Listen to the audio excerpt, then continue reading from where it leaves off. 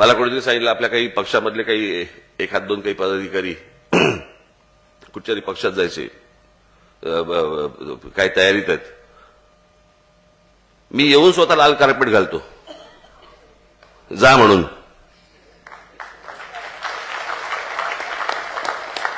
आणि जो भविष्याचा सत्यानाश करून घ्याल तो घ्यालच. त्यांचं स्थिर नाहीये तुम्हाला कुठे डोक्यावर घेणार आहेत? गेल्या लोकसभेला काय झालं बघितलं ना? वर्षापर्यंत घुसले. आता भवी या सगळ्या विधानसभेच्या वेळेला कुठे कुठे घुसतील काही माहीत नाही.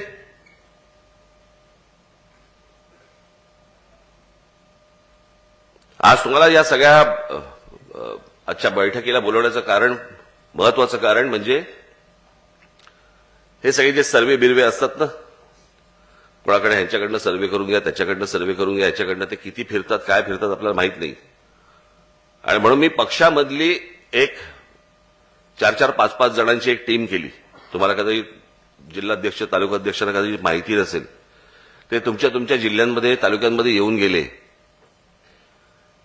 तिथे त्यांचा सर्वे झाला. ते सगळ्या लोकांशी विचारपूस करून झाली पत्रकारांशी झाली इतर लोकांशी झाली सगळ्यांशी झाली. पहिला सर्वे त्यांचा आला आपल्याकडे. आज मी तुम्हाला बोलवण्याचं कारण म्हणजे आता ते परत एक चार पाच दिवसासाठी येत आहेत त्या जिल्ह्यामध्ये तेव्हा तुम्हाला भेटतील.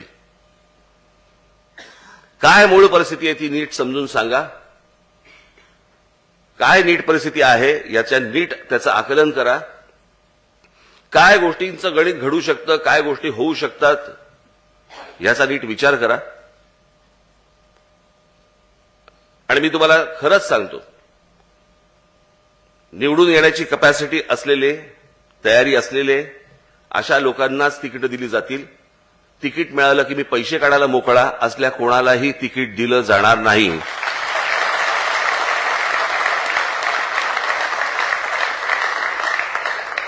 कोणालाही तिकीट दिलं जाणार नाही.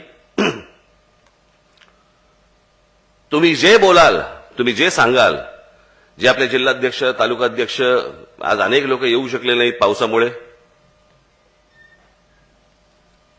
पण जे जिल्हाध्यक्ष तालुकाध्यक्ष शहर अध्यक्ष जे कोणी आहेत जी माहिती आहे ती नीट प्रामाणिकपणे द्या. कारण तुम्ही दिलेली माहिती देखील चेक केली जाणार.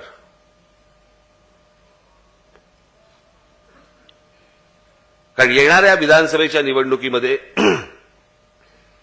मला महाराष्ट्र नवनिर्माण सेनेचे आपले सर्व पदाधिकारी पद- आपले लोक मला सत्तेत काही करून बसवायचे आहेत. काहीही करून.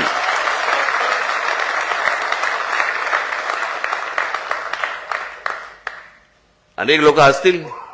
हसू देत. काही कारण मला काही हरकत नाही त्याला. पण ती गोष्ट घडणार म्हणजे घडणार. सगळेच जण आम्ही त्या तयारीने लागलेलो आहोत.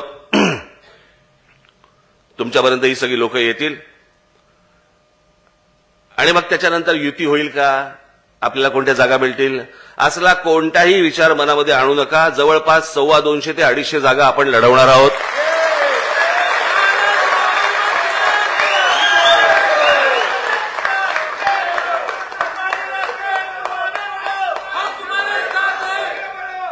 महाराष्ट्र नवनिर्माण सेनेचं तुम्ही किती मोठ्याने घोषणा दिली याचा अर्थ तुमची वर्णी लागेल असं समजू नका.